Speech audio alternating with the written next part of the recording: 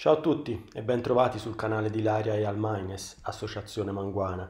Oggi ci arrampichiamo sull'albero e vediamo un modo semplice e poco dispendioso per fare la manutenzione sia dell'albero che del boma senza tirar su la barca dall'acqua. Buona visione!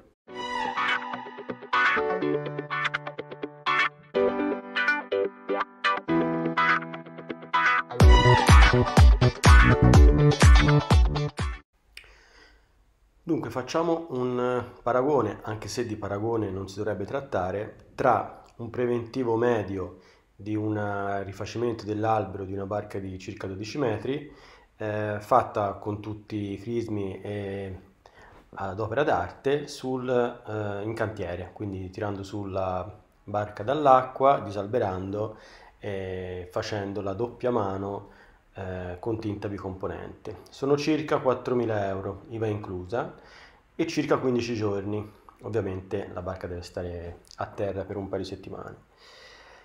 Ci siamo messi a fare invece un'attività fai da te, quindi senza pensare di fare lo stesso lavoro eh, fatto dai professionisti, ma eh, sperando di risparmiare e di tenere la barca ferma il meno possibile e, abbiamo trovato una spesa di circa 400 euro e un giorno e mezzo la barca ferma con due persone eh, a lavorare eh, con una attività di eh, grattare, levigare e una mano di tinta monocomponente e quindi sostanzialmente un rapporto 1 a 10 sia su costi che sui tempi. Ovviamente il primo ha una certificazione di 10 anni mentre il secondo è appunto fai da te soltanto con tanto tanto olio di gomiti.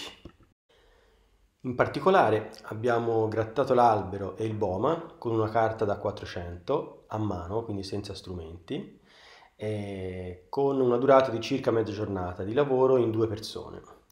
Poi abbiamo levigato con un panno ed alcol sia l'albero che il boma, circa un quarto di giornata di lavoro sempre in due persone. E poi abbiamo dato una mano di prodotto unico, ovvero sia primer che tinta, e qui circa tre quarti di giornata sempre di lavoro in due persone. In particolare dobbiamo acquistare della carta, dicevo, da, da 400 su un albero mediamente usurato e poi salire sull'albero con la massima accortezza, ehm, utilizzando doppie drizze per salire con un banzigo eh, correttamente manutenuto, con una persona che sarà all'albero, in particolare io, e un'altra persona che in pozzetto gestisce le due drizze, per evitare che ci siano momenti in cui almeno una drizza non è correttamente eh, cazzata. Eh, non è semplice organizzarsi per andare su in testa d'albero con, con tutto il materiale, vedete occorre dell'alcol, eh, un pennello, oltre che la carta che dicevo, eh, i panni per coprire la barca, eh, le spugne, i rulli e ovviamente tutta l'attrezzatura deve essere attaccata al collo per evitare che cada. Quindi è un'attività da fare con grandissima attenzione eh, e soprattutto con grande cura del, eh, dell'attrezzatura in termini di eh, collegamento della doppia drizza, eh, winch sempre eh, con stopper eh, messo e senza possibilità di eh, danneggiare né eh, la persona né la barca né tantomeno il lavoro che non è semplice fare come vedete a questa altezza con tutto il materiale. È importante quindi prepararsi per bene quando si è in pozzetto prima di salire con tutte le eh, attrezzature legate per evitare che cadano.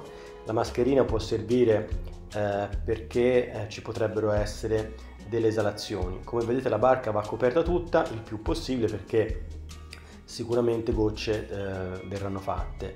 Io mi sono coperto anche addosso perché appunto non volevo eh, buttare i vestiti. Occorre farlo in una condizione di mare e, te- e vento perfetti, sia per evitare di sballottare, sia soprattutto per non sporcare le barche vicine.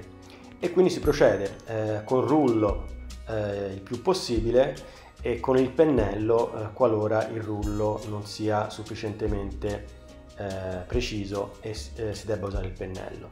Si parte dall'alto, si fa tutta la carteggiatura, poi si pulisce con l'alcol e poi si dà la mano di, questa, eh, di questo prodotto unico, ce ne sono di vari tipi eh, che possono essere utilizzati. Eh, l'importante è che l'albero sia ben levigato eh, e ben asciutto, quindi senza residui eh, attaccati. Eh, si deve fare attenzione ehm, a scendere piano piano per evitare di sporcarsi e per evitare di eh, attaccare oggetti all'albero che quindi comprometterebbero la riuscita della, della, del lavoro. L'attività deve essere fatta con, con la massima eh, sicurezza, in pozzetto ci deve essere una persona fidata che conosce bene quelle che sono le regole di eh, salire in testa d'albero. Vedete la differenza tra prima e dopo, eh, effettivamente il lavoro è stato fatto con un bel po' di fatica, questo è il prima, eh, però il risultato è buono. Non si può comparare per qualità al lavoro fatto in cantiere ovviamente, eh, però se vogliamo risparmiare, vogliamo tenere la barca sempre attiva e vogliamo fare un lavoro mediamente efficace, secondo noi può essere un buon consiglio sicuramente da provare. A noi è venuto abbastanza bene, siamo molto soddisfatti, eh, vediamo quanto dura, ma eh, può essere sicuramente da provare. Grazie.